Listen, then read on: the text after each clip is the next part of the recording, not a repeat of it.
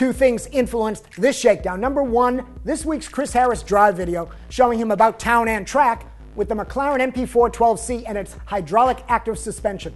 And number two, one year ago today, save one day, I started that shakedown with the exact same two things influenced this shakedown words. That show was all about the F1 tech transferring into road cars, just like the active hydraulic suspension in this newest McLaren road car. Commenter Doc Wolf added inspiration with his snarky cross reference to hydraulic suspensions in the 1960s Citroën DS and NSMs and the 1950s Packard Caribbean Cruisers. Even in Matt Farah's Monday show about the 700 horsepower tuned BMW M3, that factored in. As there was this whole discussion about how the power was or was not overplaying the E92 chassis. And M3 is stuffed with active assist, dynamic stability control, M dynamic mode, electronic damping, the variable M diff, and traction control. So, all in, I knew where today's show had to go. Interesting tidbits about active suspension in racing to give the Chris Harris McLaren video some racing context. By the way, in the video, Chris also said this Strange, fascinating, complex, brilliant, frustrating. Wow, who asked him what it's like to work with me?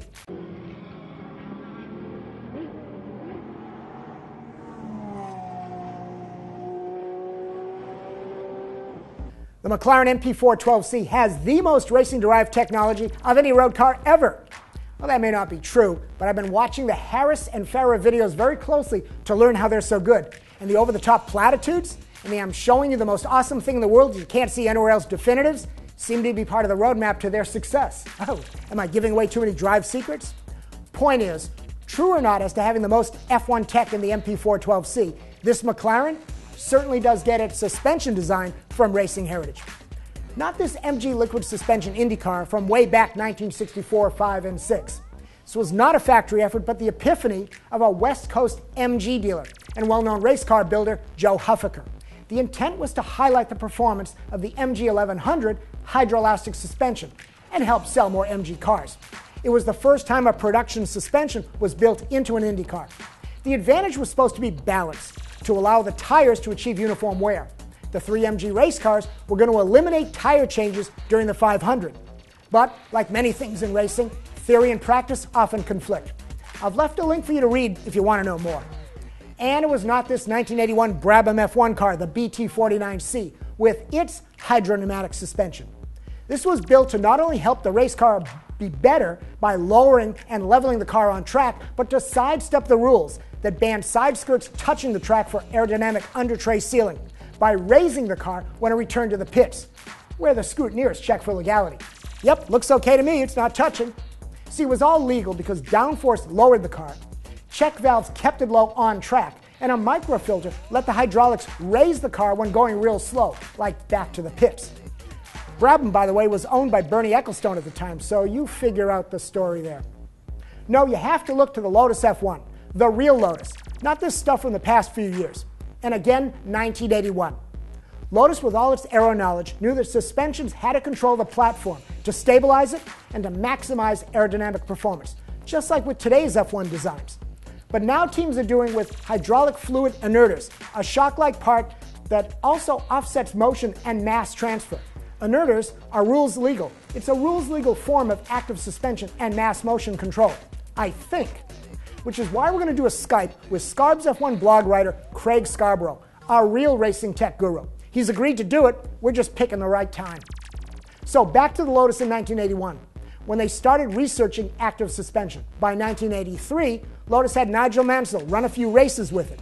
Wasn't competitive, but Nige proved that the active suspension could withstand the 180 mile an hour racing abuse and 3G laterals. Development continued and Active reappeared in 1987 when the Honda powered 99T Lotus won three races in the hands of Ayrton Senna. Now, this 1987 car was pretty much where the McLaren MP412C is today.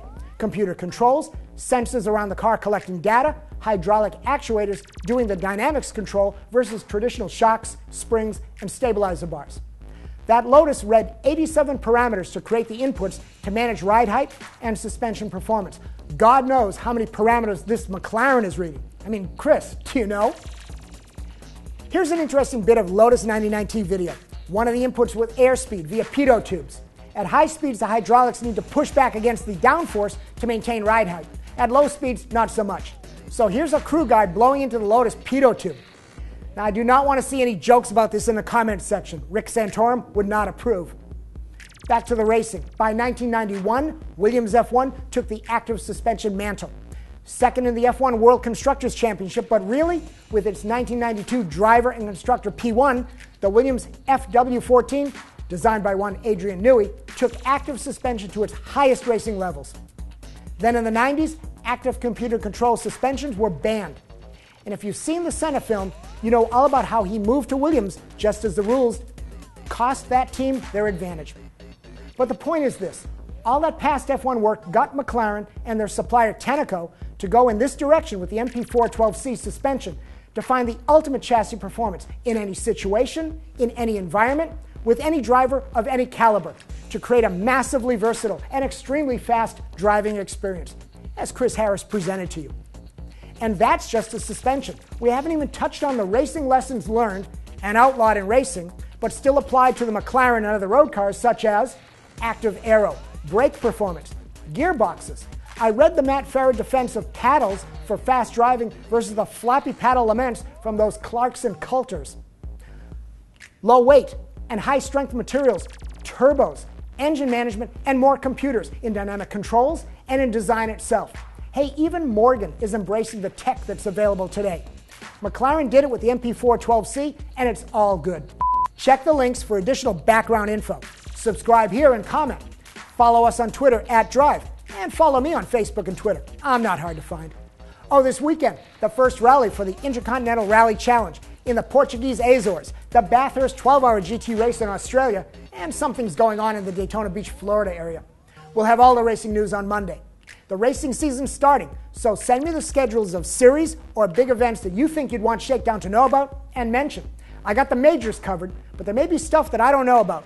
Solo events, time attacks in the US and outside, and yes, JF, Targa Newfoundland is a big deal. I hear you making plans to race it. But guys, spare me the lemons and chump car schedules.